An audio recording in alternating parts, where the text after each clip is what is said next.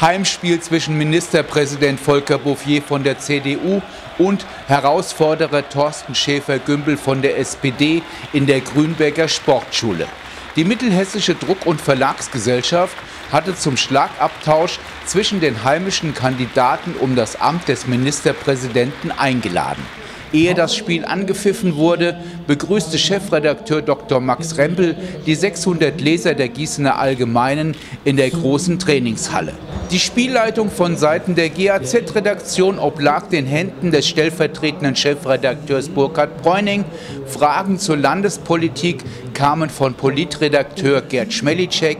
Die politischen Fragen zum Wahlkreis stellte der leitende Redakteur im Kreisteil Reinhard Südhoff.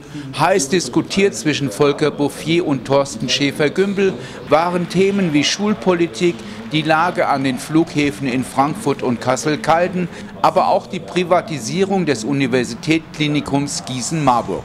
Nach zwei Halbzeiten wertete die Spielleitung den Ausgang als unentschieden. Frage an die Kandidaten, wie sie ihr Heimspiel erlebt haben. Schöne Veranstaltung. Ich bin gerne hier in der Sportschule, fühle mich hier sehr wohl. Die Fragen waren sehr bunt und es war eine entspannte Atmosphäre. Ich fand das gut und bedanke mich bei den Bürgerinnen und Bürgern, dass sie am Sonntagabend gekommen sind. Das war, glaube ich, insgesamt ein sehr munterer Schlagabtausch zwischen äh, dem amtierenden Ministerpräsidenten und mir. Ähm, er war kurzweilig, unter anderem wegen der harten Zeitbegrenzung. Sicherlich hätten wir beim Thema Bildung, bei der Frage Privatisierung Uniklinikum, bei der Frage auch, was am Arbeitsmarkt passiert vor dem Hintergrund von Leiharbeit, Befristungen, Niedriglöhnen noch gemacht werden kann, auch beim Thema Steuerhinterziehung. Dazu sind wir leider nicht ganz gekommen, aber ich bin sehr zufrieden.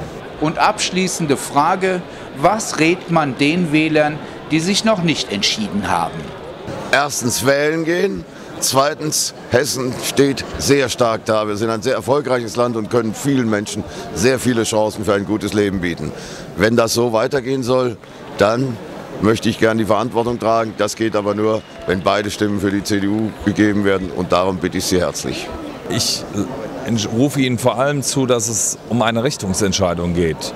Auf der einen Seite zwischen den Marktradikalen, die der Auffassung sind, dass wenn jeder an sich denkt, irgendwie auch an jeden gedacht ist, und uns, die dafür eintreten, dass es mit solidarischen Lösungen alle etwas davon haben, dass wir mehr Zusammenhalt brauchen, mehr Gerechtigkeit brauchen, weil das Land ansonsten auseinanderdriftet und damit nicht nur die Legitimation politischer Entscheidungen, sondern insgesamt auch die Art und Weise, wie wir uns aufeinander beziehen, äh, verloren gehen. Und darum geht es für mich am 22. September und ich stehe für eine solche Politik, für mehr Gerechtigkeit und auch mehr Soziales.